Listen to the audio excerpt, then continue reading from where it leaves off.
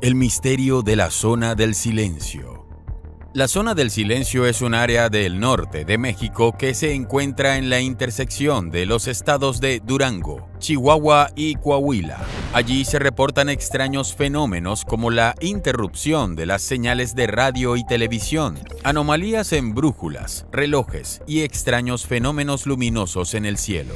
También se han reportado avistamientos de ovnis y criaturas extrañas como serpientes sin cabeza y criaturas en forma de espiral.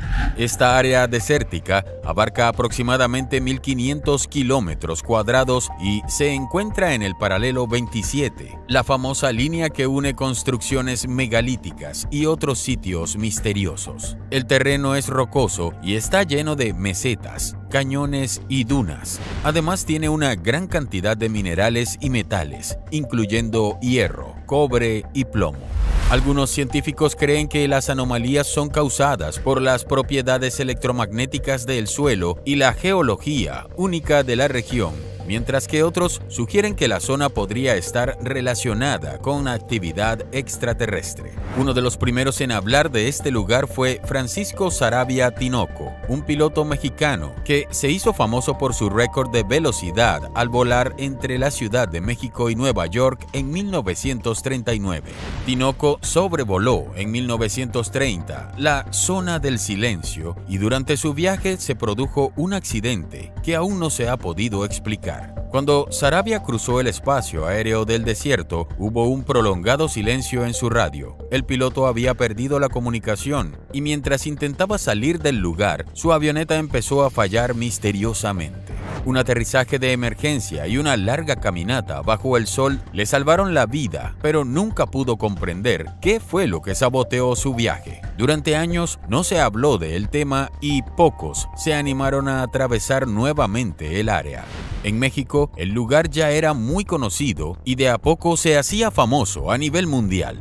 Otro evento extraño ocurrió en 1970 cuando se lanzó un misil Athena de la NASA desde una base militar cerca de Green River en dirección al desierto de White Sands en Nuevo México. Al parecer, el misil no llegó hasta su destino, sino que cayó precisamente en la zona del silencio. El objeto transportaba contenedores de cobalto 57, un elemento muy radiactivo.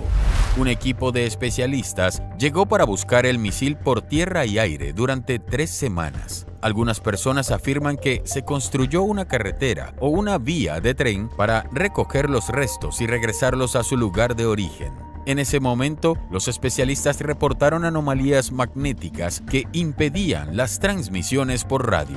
Sin embargo, una de las historias más extrañas que se cuentan allí es sobre la presencia de ángeles guardianes que ayudan a las personas que se pierden o que quedan en medio de tormentas de arena.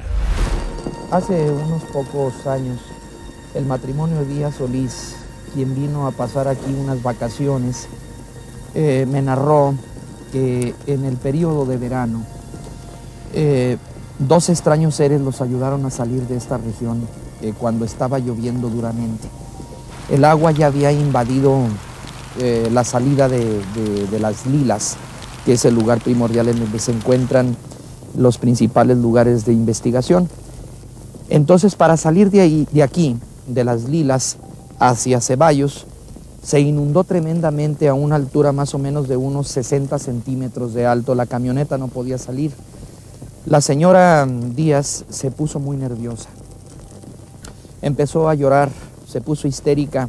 A los 12 eh, minutos aproximadamente aparecieron dos extraños seres, altos aproximadamente de 2 metros 15 centímetros de estatura, según dice la señora Solís.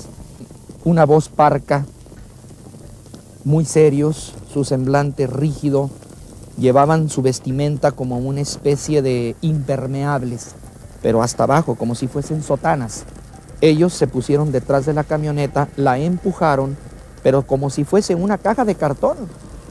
Entonces, eh, ya cuando ellos avanzaron aproximadamente unos 50 metros, el señor Díaz bajó de la camioneta para agradecerle ese favor a los señores altos que tenían ese impermeable de color amarillo a claro y en la frente llevaba un triángulo con un círculo en medio. No estaba. Hace algunos años en un mes de octubre, con, en un clima muy similar. Estando yo con unos amigos en una casa de campaña, yo vi tres seres. El del medio un poco más alto, no sé, probablemente de un 80, con dos seres más pequeños. Eran grises, eh, cara alargada, ojos así medio abultados, almendrados, no tenían oídos, la boca era nada más una línea delgada, la nariz probablemente eran como dos agujeritos, porque pues era de noche, eh, la distancia probablemente han sido sobre unos 5 o 6 metros, y al tiempo, al estar yo en un museo de cosas extraterrestres, vi esa figura y fue cuando me di cuenta que, que había sido algo pues no de este mundo. La zona del silencio sigue siendo todo un misterio que atrae a muchos turistas y científicos que buscan descubrir los secretos de este desierto único en México. ¿Y tú lo visitarías? Matest Agres, tras las huellas del paleocontacto.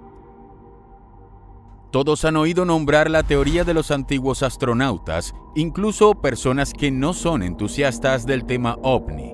Esta teoría, coherente para muchos, polémica e inverosímil para otros, trata de dar una explicación a construcciones, monumentos, relatos e incluso escritos como la Biblia.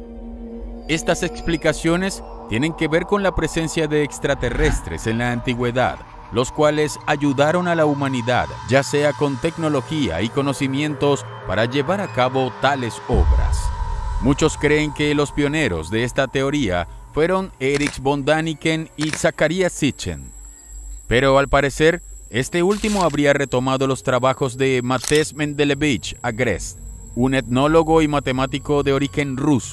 quien en 1959 sugirió que algunas construcciones de culturas pasadas en la Tierra surgieron como resultado del contacto con una raza extraterrestre. Sus escritos, junto con los de varios otros científicos, como el arqueólogo francés Henry Lod, dieron la base a la hipótesis del paleocontacto, que más tarde se popularizó y se publicó en los libros de von Daniken. Nacido en Mogilev, Bielorrusia, Agres se graduó en la Universidad de Leningrado en 1938 y recibió su doctorado en 1946.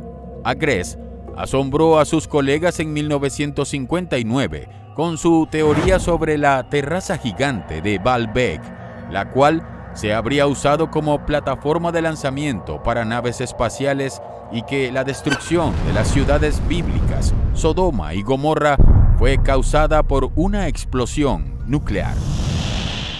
Su hijo, Mikhail Agret, siguió con el legado de su padre como profesor en el Departamento de Física y Astronomía de la Universidad de Charleston, Carolina del Sur, e interpretó el incidente de Tunguska como una explosión de una nave extraterrestre. Esta idea fue apoyada por Felix Siegel del Instituto de Aviación de Moscú, quien sugirió que el objeto realizó maniobras controladas antes de caer. El misterioso incidente de Tunguska, en Siberia, ocurrido en 1908, se dio cuando una terrible explosión, que se escuchó en toda Rusia, devastó un área boscosa de unos 2.000 kilómetros cuadrados de extensión, arrancando de raíz más de 80 millones de árboles. Se cree que fue un bólido que estalló al entrar a la atmósfera sin embargo, miles de testigos afirmaron haber visto un destello que se detuvo antes de impactar contra la Tierra. Son cada vez más los investigadores que están más abiertos a este tipo de teorías. Sin embargo, los detractores afirman que creer en la presencia extraterrestre en la antigüedad ayudando a la humanidad es una forma de subestimar la inteligencia y capacidad humana.